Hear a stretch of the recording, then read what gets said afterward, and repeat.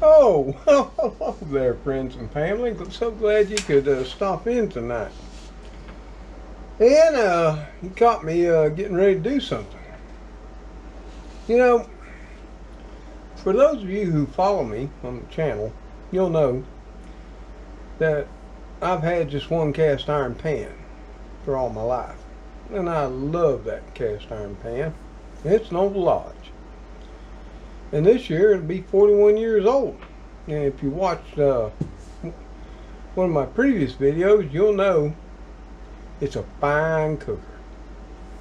It can even do scrambled eggs. I'm not talking fried eggs. It can do scrambled eggs without sticking. Easy to clean up. And that thing has cooked thousands and thousands of dinners or meals over its lifetime. I wouldn't take a million dollars for it. And I hope it's going to become a family heirloom. With that said, I got thinking about that one statement. Family heirloom. Well, I have children and a grandson. And I wasn't able to uh, get any of my great grandmothers, my grandmothers, or even my mother's cookware. Now, I won't go into all that right now for the reasons and whatever, but you know, there were daughters, there were aunts, uncles, you know, whatever. I was too far down the food chain.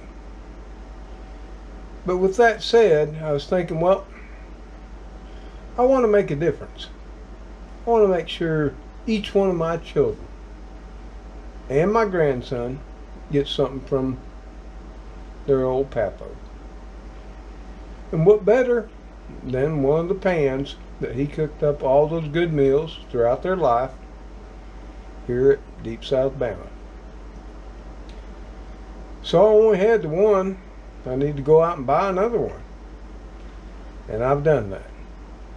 And I'm going to buy a third one. Maybe a fourth one. But we're going to be starting out brand new with them. They're not going to be 41 years old. And I'm going to show you just what it takes to get them ready to not only be a family heirloom, but to be something you'll treasure and enjoy every day in your life in the kitchen. So y'all stay here with me right now here on Deep South Bama. So y'all, here is my uh, old uh, 40 plus year old 10.25 Lodge cast iron. So y'all, let's just start off with my old uh, 10.25 40 year old, be 41 years old this year, cast iron pan from Lodge. And if you'll watch my video on cooking with and caring for uh, cast iron cookware, cooking scrambled eggs in a 40 year old Lodge skillet, you'll understand that this skillet not only will fry an egg without sticking, it will also scramble eggs without sticking. And you might say, well, that makes sense. It's a 40 something odd years old and it's cooked thousands of meals. And I love this old pan. I truly do. But it's a little bit too large for what I do these days. That being said, I used to cook for a family of four and on occasion for six to eight people. And it was just fine for that. But now, with just me here, it's way too large. And I tend to cook and fill it up rather than just cook what I need for just little old me. So the first criteria in selecting a new pan was I need a smaller pan. So what I wanted to do was downsize from this pan. So what I was looking at was an 8 inch pan and something I want to clarify right now when you're looking at the size of pans is pans are measured diagonally across them. And where this one's 10.25 or 10 and a quarter inches from inside wall to inside wall. It's only about nine inches cooking surface. So bear that in mind when you're looking at a cast iron pan. Another thing I want you to understand is a lot of pans have numbers, especially the old Griswold and Wagner pans. They were number sixes, number fours, number eights. Well, let's take a number eight. Number eight pan is actually this pan right here, 10.25. Now, how they all come up with that back in the day, I don't know. You'd think a number eight pan was for an eight inch pan, but it wasn't. But this was the old lodge. And what I wanted to do was try to get a pan similar to this, but in a smaller size. With an 8 inch overall diameter, which was going to give me about 6 inches of cooking surface. So the first thing I did was I looked at Lodge. And I looked through every pan they had, and they've got 8 inch pans. But another thing I was wanting, I was wanting an unseasoned pan which this one here was unseasoned when I bought it 40 some odd years ago. Well, back then, none of your cast iron cookware was seasoned. Fast forward to now, and for about past 15 20 years, virtually 99.99% pans come pre-seasoned.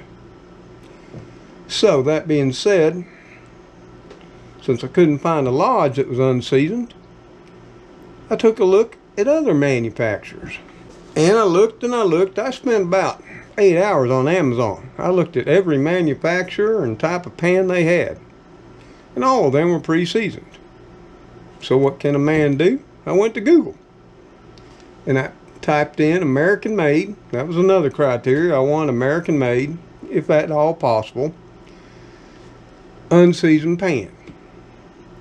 Well, they came up with a lot of uh, manufacturers made in America. But after looking into them, and I looked at all of them, I looked at Fields, Finex, Smithy, Stargazer. I looked at Lancaster, and I looked at Butterpat, which are all your higher end smooth finish pans. And that's another thing. Lodge is not a smooth finish pan. It's got a very grainy, pebbly-like surface.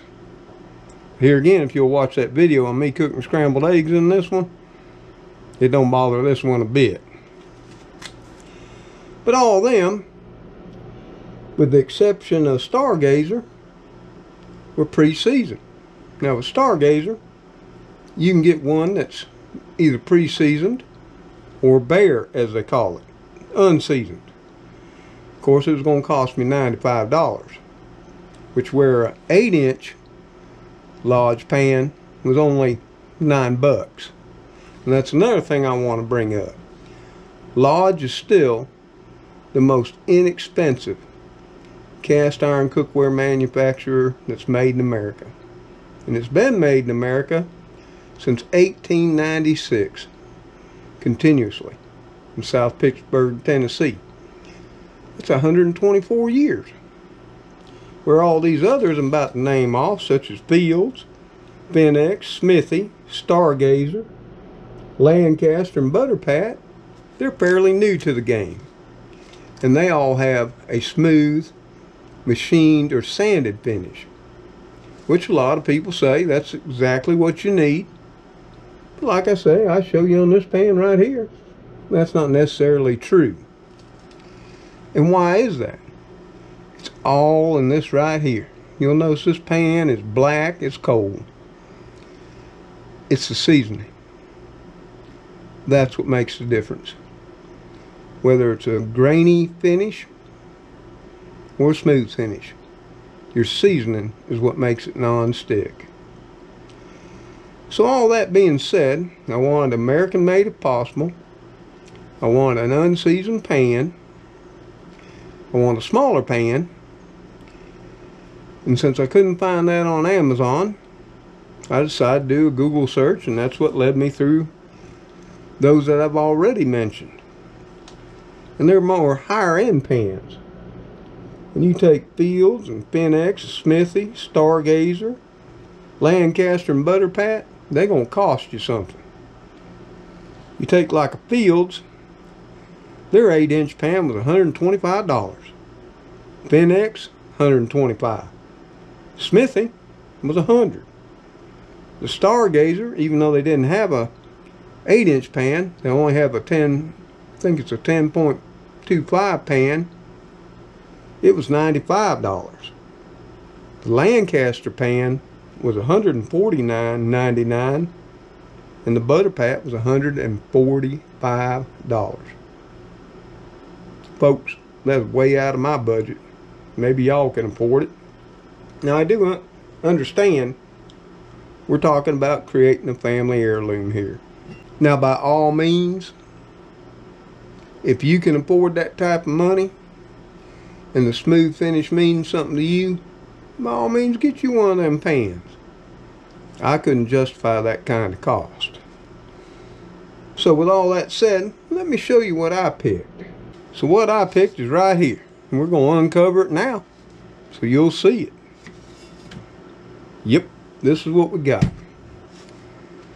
Now this is a Victoria pan. Let me bring it up here where y'all can see it. And this is an 8 inch, 20 centimeter skillet. And don't beat me up on this. It's not made in America. Nope, unfortunately it's not. But there were several reasons I went ahead and picked this pan. One of those reasons was it had the least amount of seasoning I could find by the color. If you'll go look at Lodge pans, they're a real dark black. For this pan right here, I'm not sure the camera's showing it very well, is a very light gray. So in my mind, knowing what bare cast iron looks like, which is very dull light gray, this pan had least amount of seasoning on it. And that's what I wanted. Second of all, it was smaller. Third of all, it had this nice, long, tapered handle. See? Now, the Lodge skillets all have this little stubby, straight handle. I'll show it to you here again. See it right here? And you can see it's a lot shorter than the one out here on the Victoria. And it's straight. And what has happened over the years is that straight handle bothers my wrist. Especially when I pick it up. Puts my wrist in a bind. And back when I was younger, even though it was awkward, it still didn't bother me.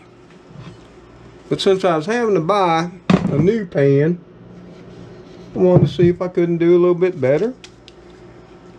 And I saw this handle, and you can see the nice curve in it, and it is longer. It's rounder with a smooth edge, where the Lodge pan has a very distinct ridge around here. This handle fit my hand a whole lot better. Made it go easier on my wrist. So it had the least amount of seasoning. It had a real nice handle on it. That was two of the reasons. Another reason is this pan right here has a limited lifetime warranty. All you need to do is have a picture of your receipt or the original copy to get this replaced under warranty. And that's it, folks.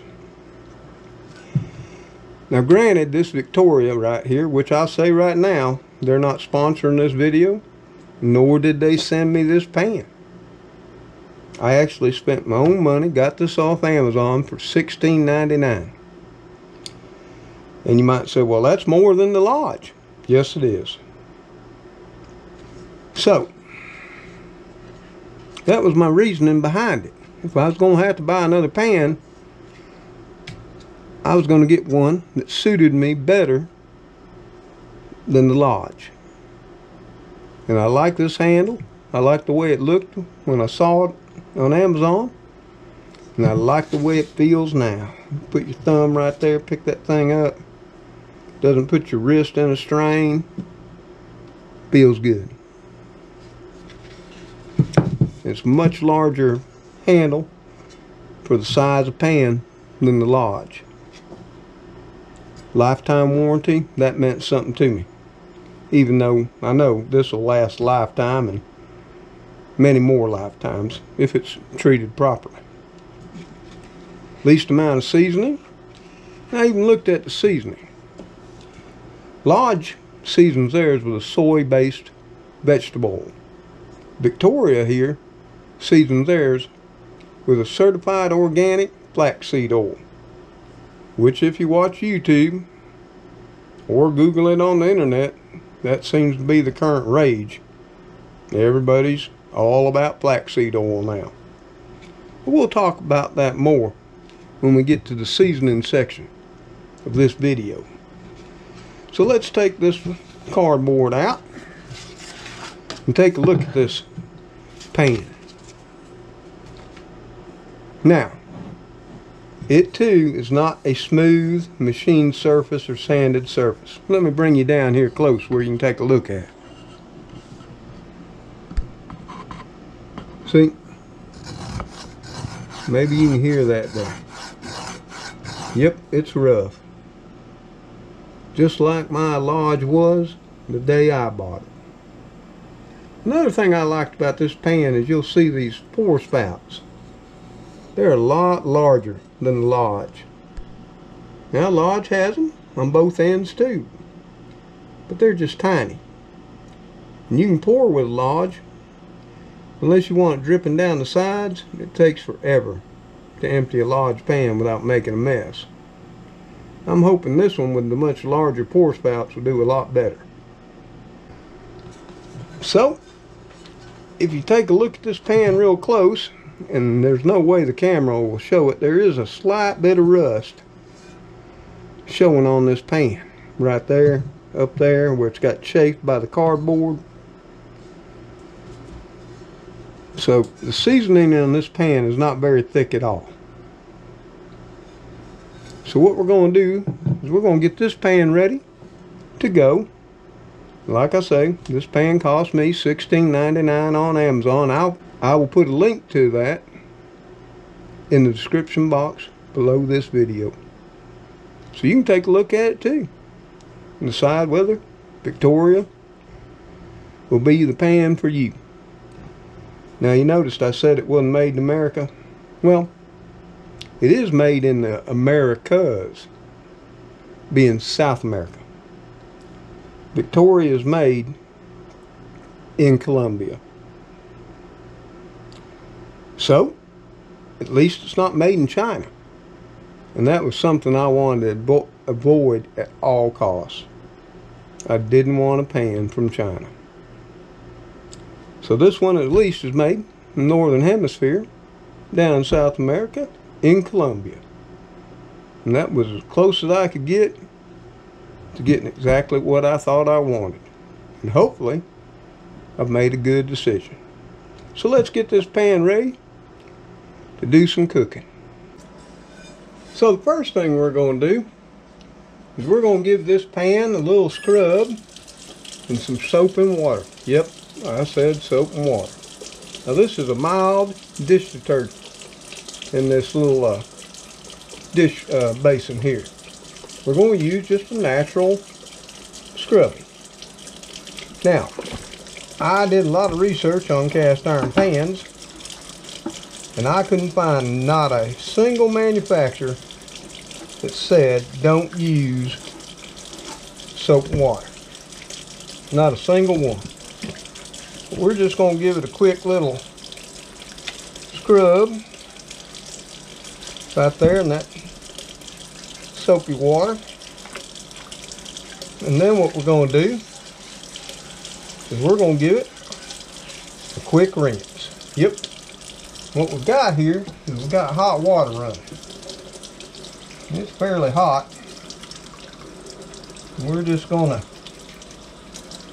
rinse it all off really well in that hot water.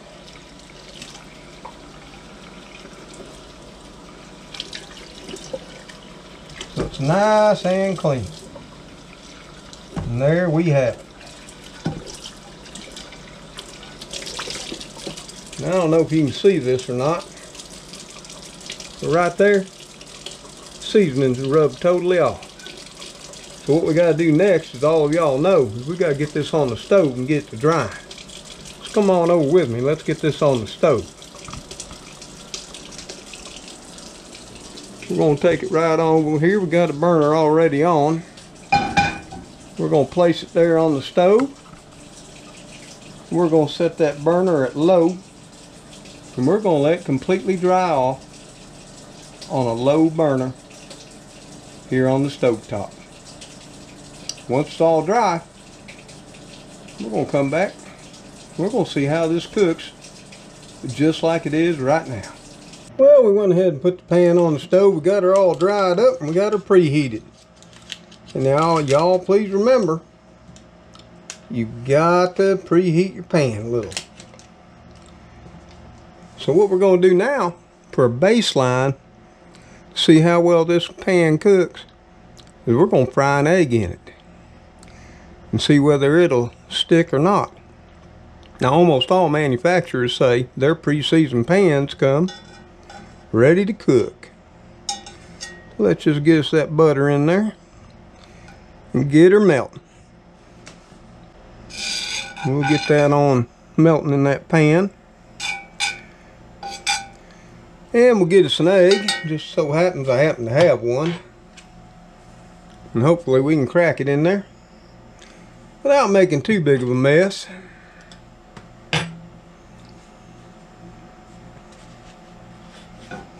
We'll just make sure we got that whole bottom coated really, really good. Because I don't have a lot of faith in it being ready to cook straight out of the box give her a little crack here on the side.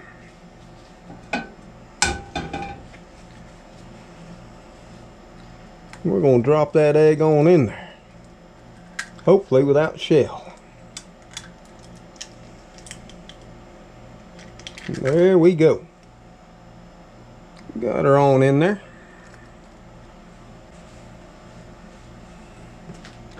Give her a little seasoning because I don't want to waste that egg. We'll be eating it here. I'm not going to throw away a perfectly good egg. We've just got that pan sitting on low right now. And we're going to let that egg firm up some before we try to flip it.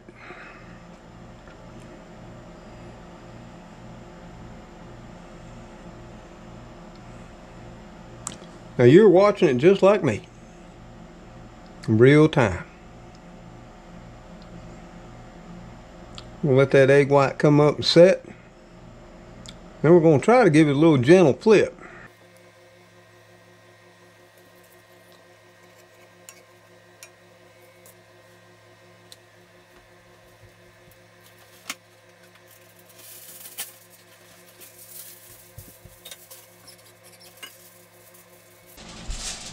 Now y'all, I'm going to show you a little trick I use to making perfect sunny side up eggs. Take you a little bit of water, pour on in there, right like that. Then all you do, is you take your, put your lid on there if you got one. Of course, I ain't got one to fit this pan. So what we're going to do, we're just going to take a little bit of foil, put right over, right like that. Because that water is going to steam and start helping to set up the top of that egg.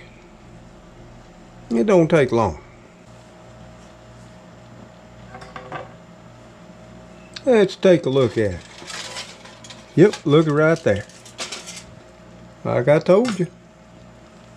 Perfect. Now let's see if it'll release. Oh yeah, look at that thing.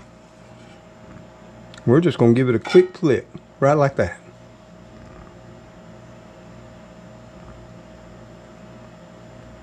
Ain't gonna leave it there long. Cause I like to have a little runny yolk. Like I said, I'm not gonna waste this egg. This will give us a good bench line how this pan's cooking from the get-go. Let's just slap it on this little paper plate right here. Yep, there we go.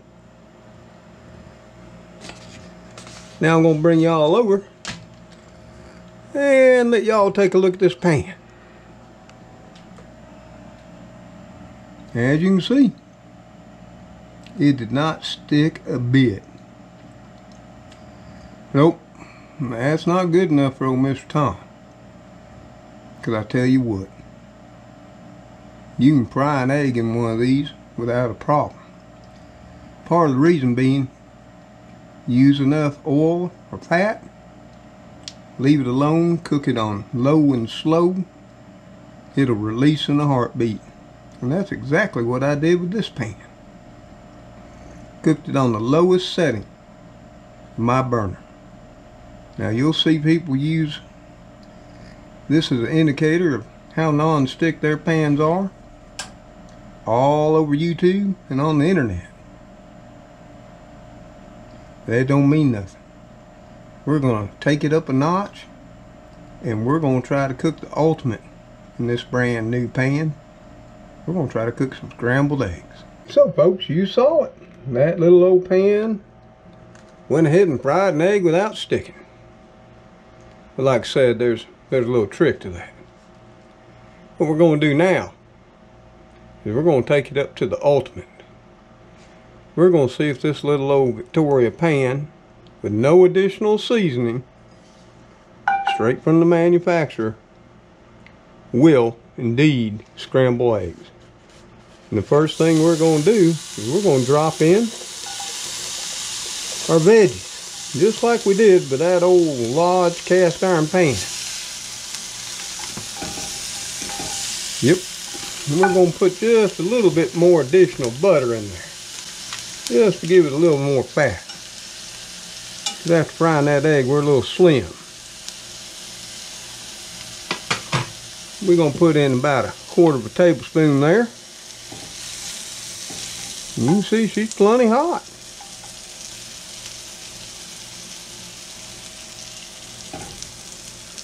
We're just going to let these veggies brown up a little bit.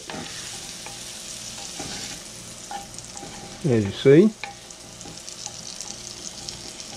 And since I got to eat this,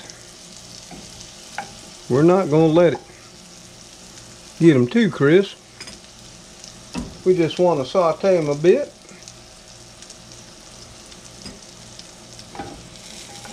Keep the crunch, but add a little flavor.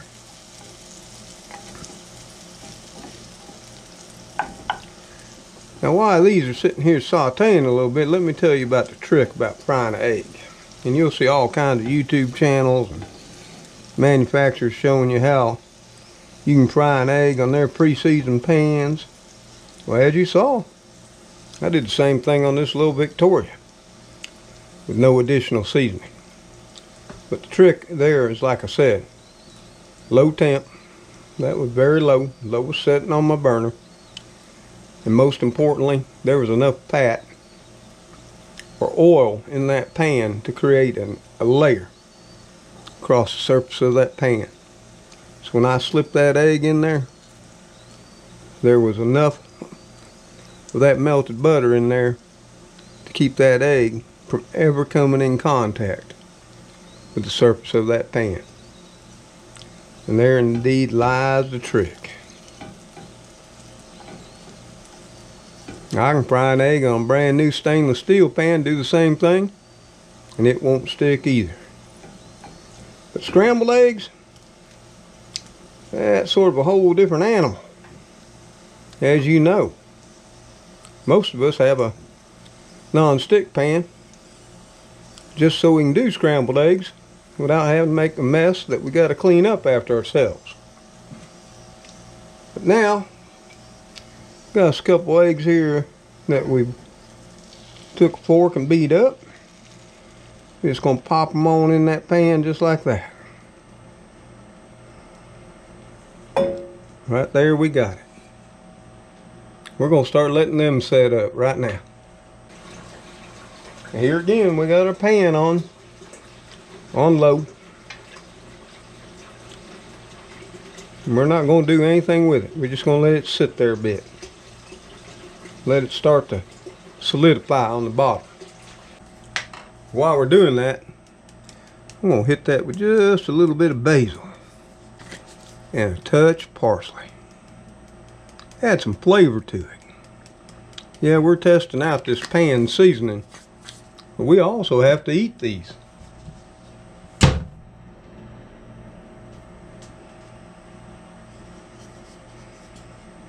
Well, let's start moving this stuff around. We're just going to gently move it around. Hopefully she ain't going to stick. That'd be the best thing, wouldn't it? So far it seems to be doing pretty good, doesn't it? But here again, we got that temperature down pretty low there. Now the reason I say scrambled eggs is the ultimate test is because you're disrupting that surface of fat, i.e. the butter, on the surface of the pan. Unlike a fried egg, you crack it in there on top of your fat or oil. You just leave it alone till the bottom of the egg sets up as much as you want and then you flip it. But you just can't quite do that with scrambled eggs. You got to move them around. We'll break them up a little bit there. Let them keep cooking. Start flipping them around a little bit, dry them up some.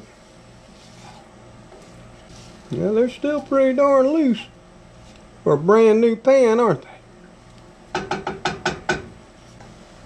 We just about got them where we like them.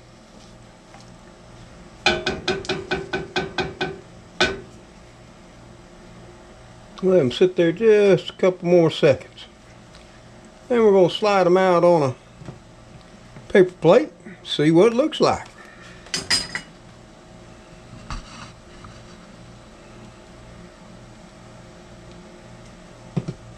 That looks like we got about where we want it.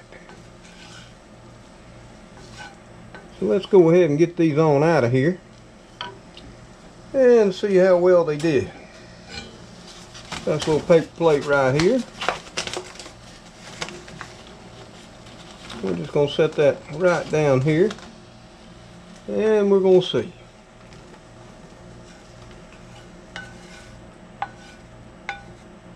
Well, for the most part, they came out. But I'm going to show you something. You probably can't see it. Maybe you can, but see right there? We got some sticking. Yep.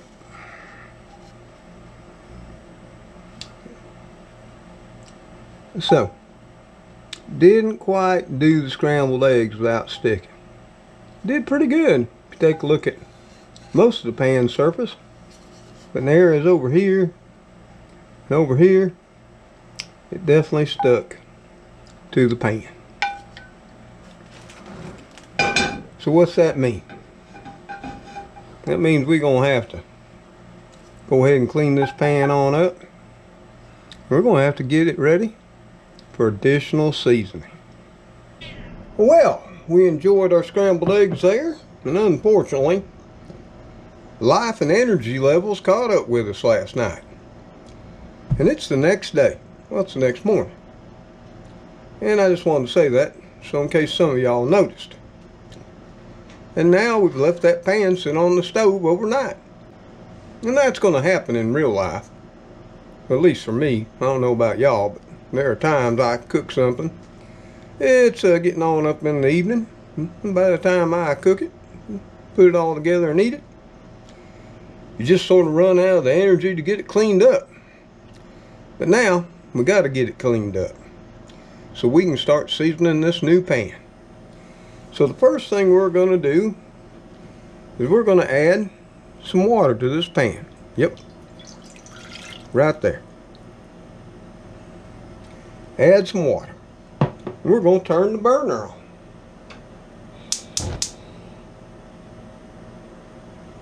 And what we're going to do is we're going to bring that pan with the water in it now up to a boil. And since we were also pretty nasty with making those scrambled eggs, we got scrambled egg remnants all up the sides. So we're going to take that same piece of foil we used when we fried up our egg. We're just going to lay it over the top there. Just like that. So as that water boils, there'll be steam created. And that steam will help loosen what's on the side of that pan. So once it comes up to a boil, we'll come on back and continue on. So y'all, while that pan's coming up temperature and that water's starting to boil, we're going to talk a little bit about the seasoning process. And indeed, it is a scientific process that takes place. And this is what's wrong with how some people do it. Now you'll see on other videos and you'll hear that you're baking on a coating on your pan. Well, you can do that. You can bake on coating of oil and that's fine to some point. But that also makes your seasoning prone to peeling and cracking. And that's a common problem with the seasoning of cast iron pans. And if you do enough research, you'll run across that problem many times. And what you want to do is you want to have a temperature and select an oil, both of which are extremely important in the seasoning process, that creates the environment to cause a process called polymerization. Yep, because that's what's going to happen. And what is polymerization? Polymerization is, regardless which fat or oil you choose, you bring up the temperature to that fat or oil's smoke point and just beyond. And in doing so, you start the polymerization process. And what's that? Well, basically, the oil is starting to carbonize. But in doing so, it changes at the molecular level. And during this process of polymerization and carbonization of the oil, it starts to bond at the molecular level with the cast iron. You're not baking a coating on. You're actually getting the oil to form carbon and to bind with the cast iron at the molecular level. And this ensures that your seasoning will not peel or crack off as you're using your pan. Or you won't have a fear of a problem with cooking acidic foods in it. So, what I have here in front of me and what you've been staring at while I've been chatting about seasoning is a list of oils and fats from Lodge Cast Iron. And I'll include a link to this page for your reference and review. Now, it includes many of the oils commonly used in cooking. Everything from avocado oil, safflower oil, light refined olive oil, rice bran oil, soybean oil, peanut oil, corn oil, sesame oil, sunflower oil, canola oil, grapeseed oil, vegetable oil, extra virgin olive oil, vegetable shortening, coconut oil, and flaxseed oil. Of course, all the rage here of late is flaxseed oil.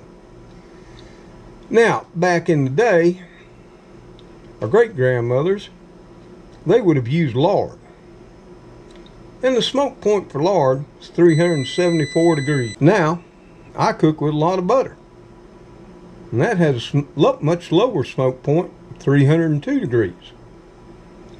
But over time, our great grandmothers and our grandmothers switched over to shortening, i.e., Crisco, which was the most common used back in the day, and you saw it in all their kitchens. And shortening is hydrolyzed vegetable oil. In other words, it's made into a solid and becomes more shelf stable. But it has a smoke point of 490 degrees. So in talking about all this, why is it important to know your smoke point of your oil? And you can see here from avocado oil being 520 degrees Fahrenheit all the way down to flaxseed oil being low at 225 degrees Fahrenheit. And why is this smoke point so important? Well, you must achieve the smoke point and a little beyond start that polymerization process and get your oil start carbonizing, start changing at a molecular level and bonding with the cast iron. And here again, you can watch a lot of YouTube videos out there and people will be seasoning pans from as low as 300 degrees to as high as 500. And that's all fine and good if you choose the proper oil when you're seasoning. Let's say, let's use flaxseed oil. All the rage right now. It has a smoke point of 225 degrees. So you're going to need to get above 225 degrees to get it to where it's at smoke point and start the polymerization process. I'd probably say around 250 would be about right. At which point, point it's going to bond with the molecules of the cast iron uh, on your pan. So therefore it's not a baked on coating, it's a bonded coating that bonds at the molecular level with the cast iron. So what we're going to be using today is right here. Let me show it to you. What we're going to be using is grapeseed oil. And it has a smoke point of 420 degrees. So once we're ready to get that pan off the stove and get it cleaned up the rest of the way, we're also going to be preheating our oven to 450 degrees. This will ensure that the grapeseed oil not only is at its smoke point, but is past it to start the polymerization process and the carbonization of the grapeseed oil and bonding at a molecular level with the cast iron molecules. So let's check that pan and see if it's come up to a boil yet. So here we are, we'll just whip off the old aluminum cover. Oh yeah, you can see the steam. And it's about to boil. We're just gonna let it start to boil there a little bit stronger. You see some boiling action going on. Let me set you up here. So once you got that water in your pan boiling, just like we've done here, you're going to take some type of scraper. Now, if you've got a plastic scraper, that'll work just fine too. I had one, but I lost it somewhere. So I had to revert back to what my grandmother used. Just use your metal spatula. And all you're going to do, you're not going to bear down. You're just going to take that spatula, and you can apply a little pressure but you don't want to be digging on the pan. Especially once you get it nice and seasoned. You're just going to want to run around there to loosen up any of that that's stuck to the bottom. Just like that. And don't worry about if you don't get it all off at this point in stage. It's actually not the scraper doing anything. It's more about the boiling and the formation of bubbles coming up underneath what's stuck to the pan that helps loosen it. Well, as well as the boiling hot water. Now at this point, we're just going to turn it off and let it cool down a bit. Now we're not going to let it cool all the way back to room temperature. We're just going to let it cool down to the point where we can handle it safely. And then we're going to take it over to the sink and finish up getting this pan clean to reseason. So we let that pan cool down a bit. And here again, we just let it cool down enough to allow us to be able to handle it without burning ourselves. We didn't let it get warm room temperature will get cold. You want to make sure you turn your hot water on. The one thing you don't want to do is hit a hot cast iron pan with cold water. You could possibly warp it or even crack it.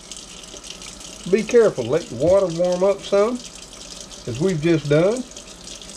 And we're just going to go ahead and give it a quick rinse right here with water and our sprayer to just knock loose anything in that pan.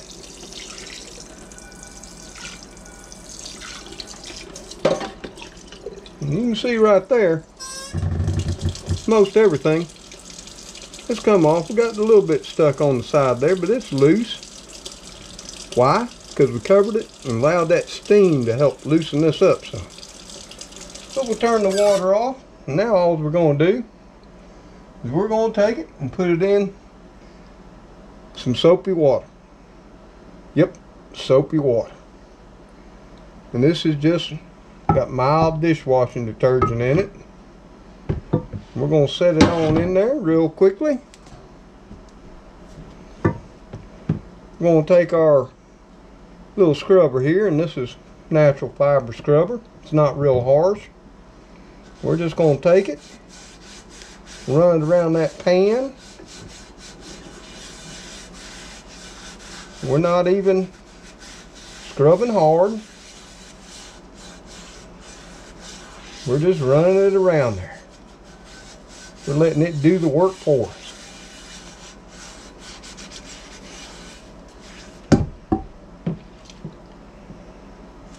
Make sure we got it all off there.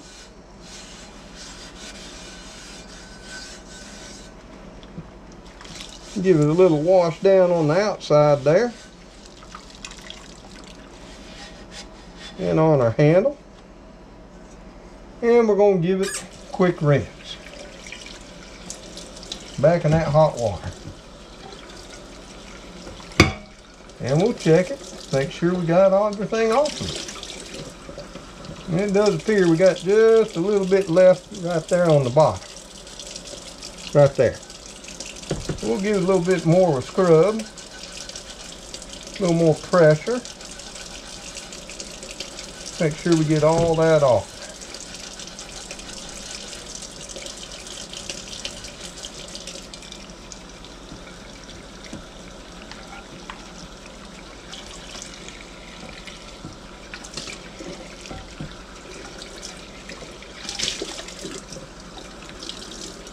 And there we have it.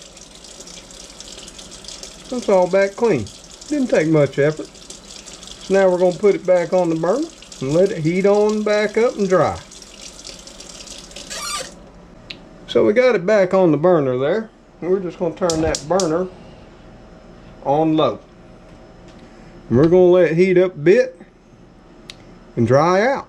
As soon as it's dry, it's ready to start the seasoning process again.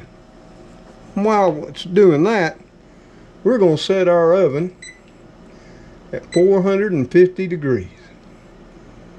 And the reason we're using that temperature is because we're going to be using grapeseed oil.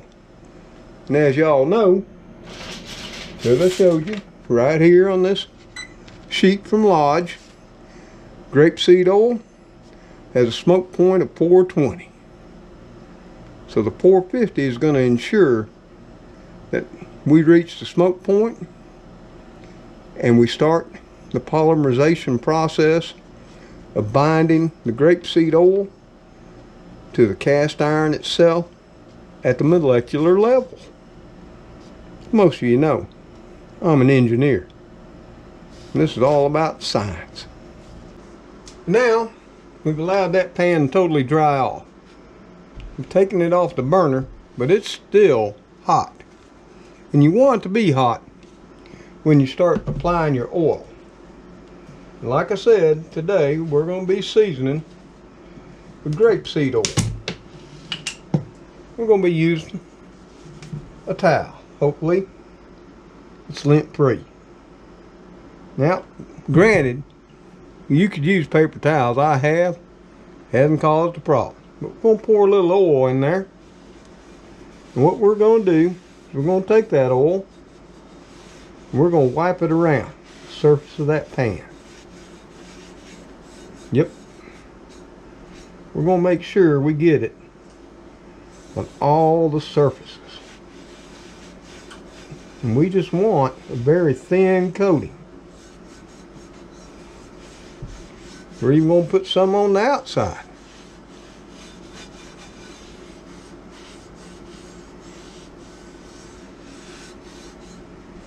And we're going to put some on the handle as well. If you see some lint, like I'm seeing, wipe it away. But make sure your coating is very thin. If you won't do that and you put it on too thick, you're going to get a real sticky surface. See what it looks like now? Nice, smooth, and black. So what we're we going to do next? Well, we're going to stick it in that preheated 450 degree oven. So let me open it up and I'll take you with me as we stick it on in there.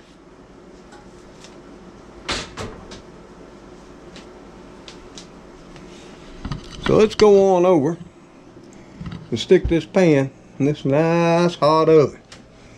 And we're going to stick it in upside down. And the reason for that is we don't want that oil to accumulate down on the bottom edges around the interior surface of that pan. So we got it on in there. We're going to close this oven on up. And we're going to set us a timer for one hour. There we have it. Now, we're going to go watch YouTube while this pan comes up to temp. Now what's going to happen, and I suggest you turn on your exhaust fan if you have one. If you don't, you might want to open the windows. Because here again, we've got that oven set at 450. The smoke point on that grapeseed oil is 420. So it's definitely going to start smoking. And it's going to start smelling up the house. Like I said, we've got to get to the smoke point and beyond to start that polymerization process, which is going to take that oil from being just baked on to baked in at the molecular level with the cast iron itself. So we'll leave it in there for an hour and then we'll come on back. Well, as you can hear, folks, that timer's going off. That pan's been in there for an hour, so we'll shut that timer on off.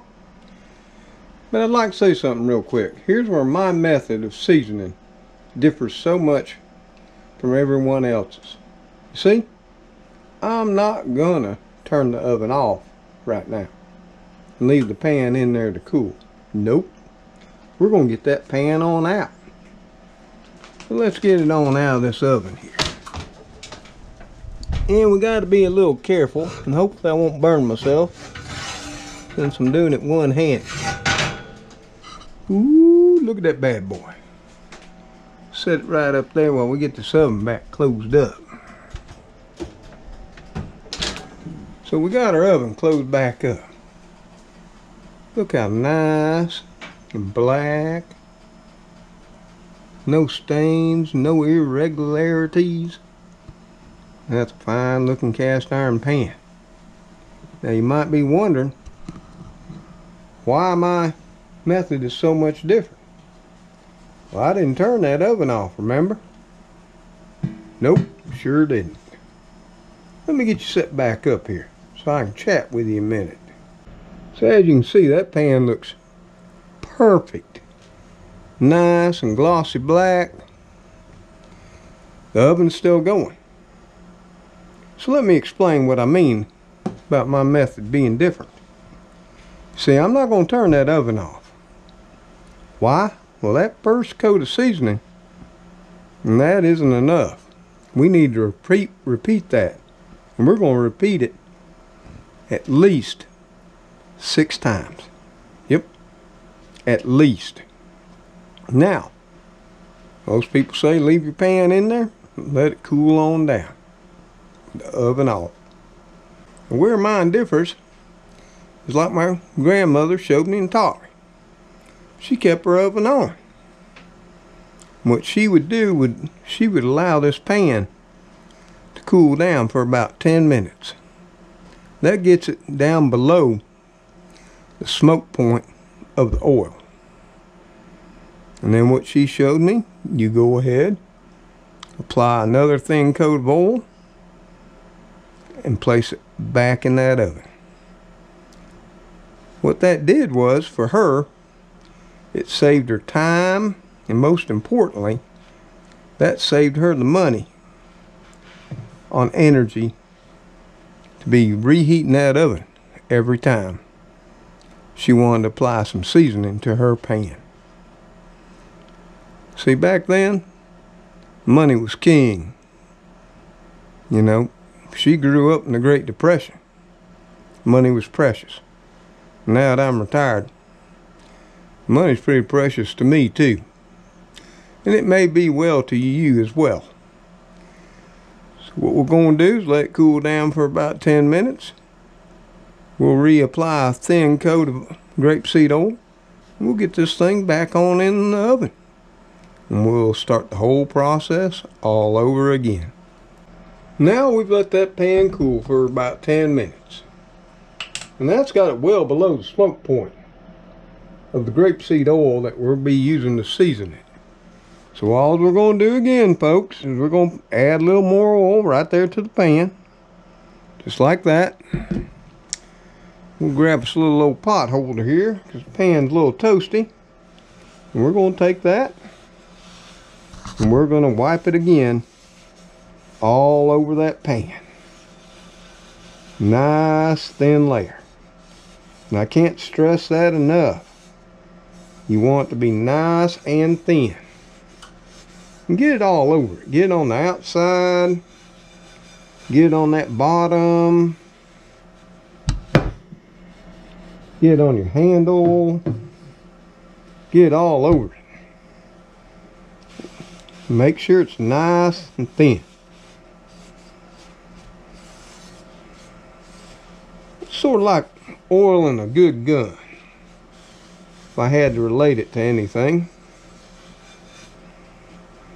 And there we have it.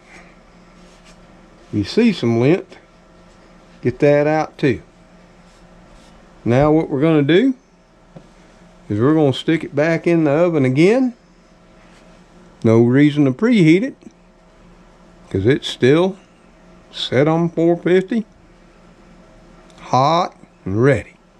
So I'm just going to set it on back in that oven.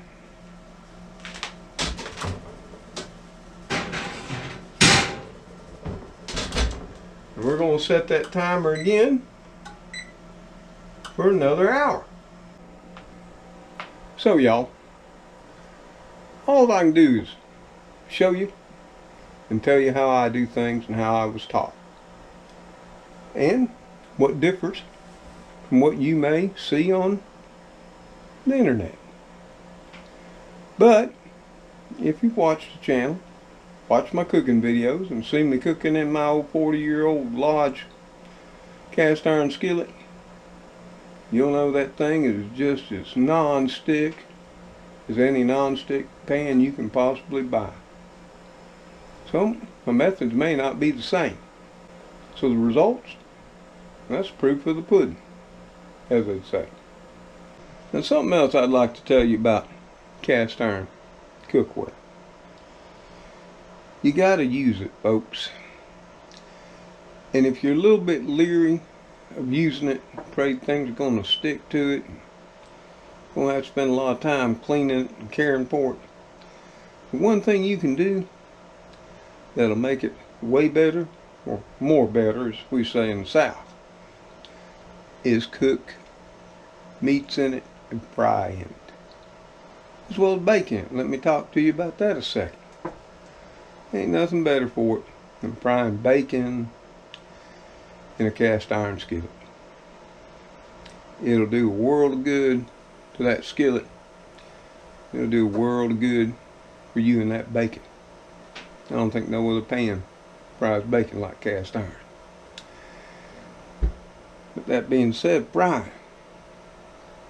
Frying uh, chicken, okra, squash, fish, whatever.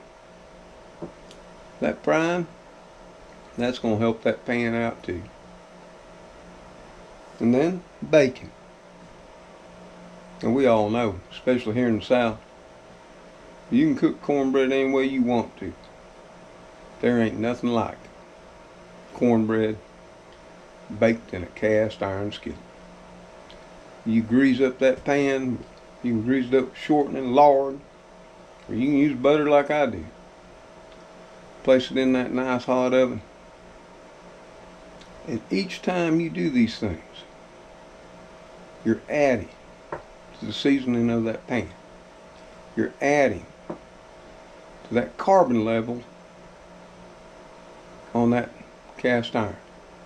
You're building it up. And that's what it takes.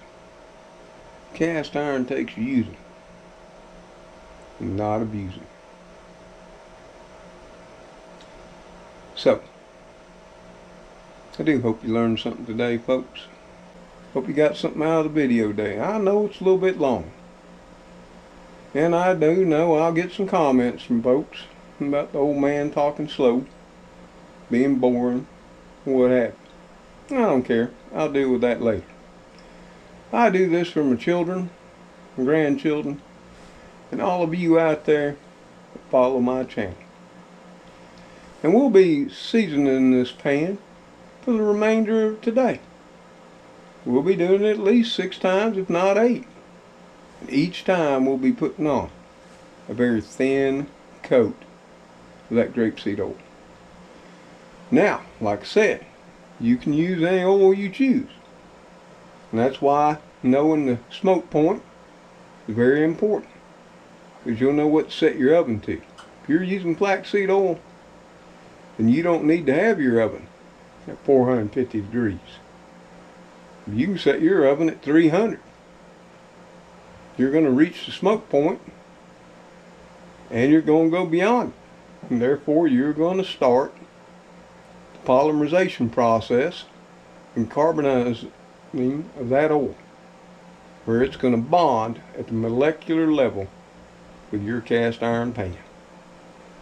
And if you'll do this, you don't got to worry about peeling you don't got to worry about flaking or the cracking your seasoning. So with all that said, folks, once I get this thing done, I'll come back in another video and I'll show you how this pan cooks then. And you can compare it to how it cooked during this video. So friends and family, until I see you on the next video, Y'all take care. Stay safe out there. And God bless each and every one of you. Goodbye for now. I gotta get this going on. It's gonna be a long day of seasoning pans. Right tricks. You know, like always. Tricks done curled up and went to sleep again. Oh. Hey, maybe I can get Sammy to help me. Hey y'all. Hey there, Samantha. How you doing? Oh, Mr. Magoo. How you doing there, Mr. Magoo? What you doing there, Mr. Magoo? You got your little white socks on and everything. Hey, I need some help, guys. Can y'all help me come on in the kitchen there and help me season cast iron pan? What do you think there, Mr. Magoo? Could you help me out some? Hmm, not too interested, huh?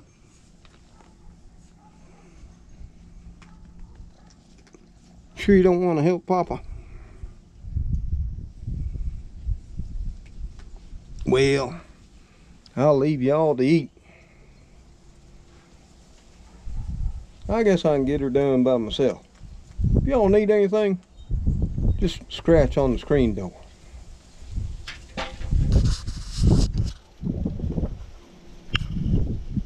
Later, all.